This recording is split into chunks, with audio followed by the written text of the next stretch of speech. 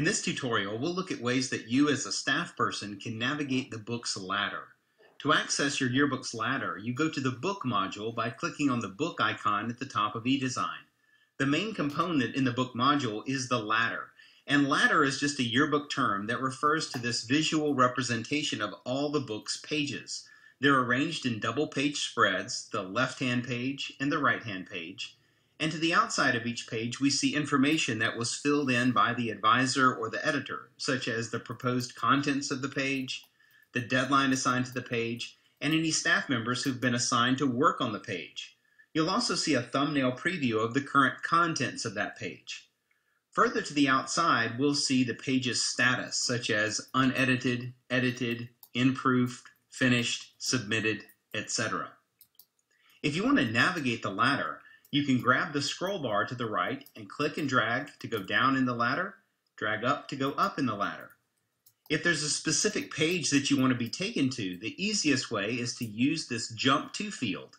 Click to place your cursor inside of this field, type in the page number, and hit Enter or Return on the keyboard, and eDesign will take you directly to that page. As a staff person, it's also really helpful to be able to focus in on the pages that you've been assigned to. You could just look for your name under the page assignments. For this example, I am a student called David Smith, and I could look down the ladder and find all the places where David Smith is assigned to pages. That could be good, but it might be a little tedious. There's also this clue here with this star to the outside of the page. That's an indication that these are pages that I've been assigned to.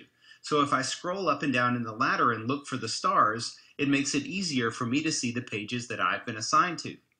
Even better is to go to the View menu and choose Show Only My Pages, and then eDesign will just show me the pages to which I've been assigned. To go back to the full ladder view, go back to View and turn off Show Only My Pages.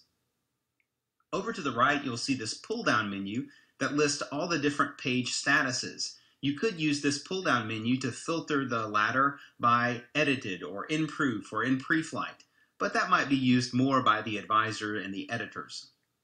The advanced search function can also be helpful. If you click to open up advanced search, you can combine various parameters. So for instance, let's say I wanted to find all of the pages that I've been assigned to for the December deadline. I could click on my name and then come over and click on the deadline that I'm interested in and then click apply. And now eDesign will just show me the pages that I've been assigned to that are also assigned to the December deadline. So it makes it easy for me to focus in on the pages that I need to be working on. And that's the basics of navigating the ladder in eDesign.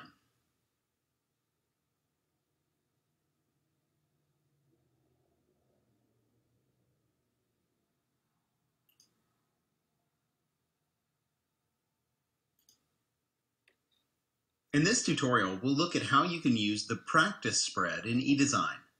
To access the practice spread, go to the Book module, and at the top of the ladder you will see this icon that looks like a notebook and pen. Click this icon to open your practice spread.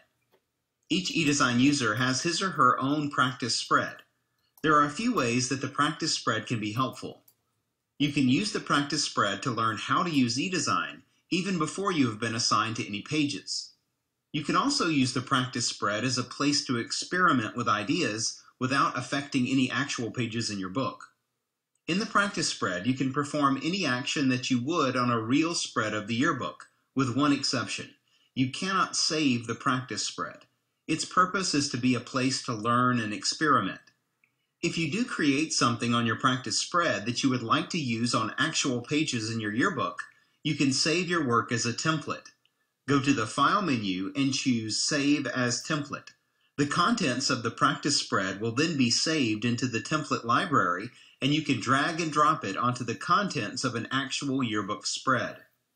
When you leave the practice spread, you are presented with this notification that lets you know that your work will not be saved. And that's how you use the practice spread in eDesign.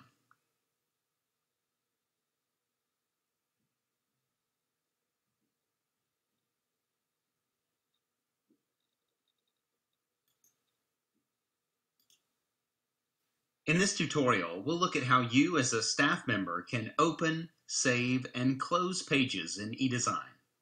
In the book module of eDesign, you'll see a representation of all the pages in your book. To the outside of each page, you'll see a link that allows you to edit or view the page. As a staff person, you can only edit pages to which you have been assigned by the advisor or the editor. If you are assigned to the page, you will see the Edit link.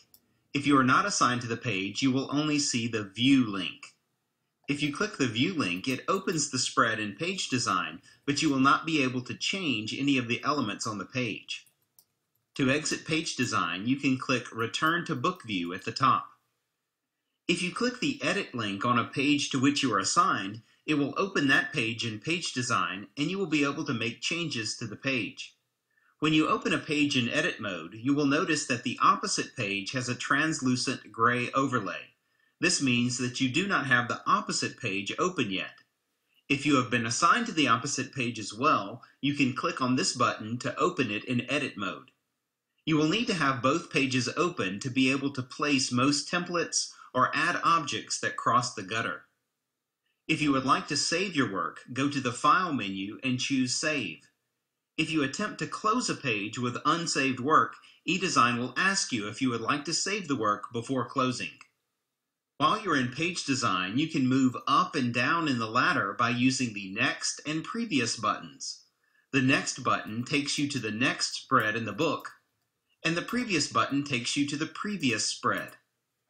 The spread will open in Edit mode if you are assigned to the pages, and it will open in View mode if you are not assigned to the pages. You can also access a mini ladder by clicking on the All Pages button. This will allow you to go to any other page and open it in Edit or View mode. If you would like to leave page design and return to the full ladder, you can either go to the File menu and choose Close Window or click on the Return to Book View button in the upper right.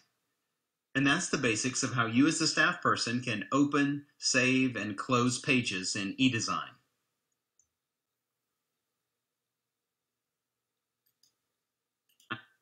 In eDesign, only one user can be editing a page at a time. When one user is editing a page, the page will be locked to other users. When a page is locked because another staff member is editing the page, you can only open the page in view mode. eDesign only allows one person at a time to edit a page so that one person does not save over another person's work. To illustrate this, I am logged in in this window as a staff member named Caitlin. And in this window, I'm logged in as a staff member named David. When I navigate to the book module, I'll see that both David and Caitlin are assigned to pages 4 and 5.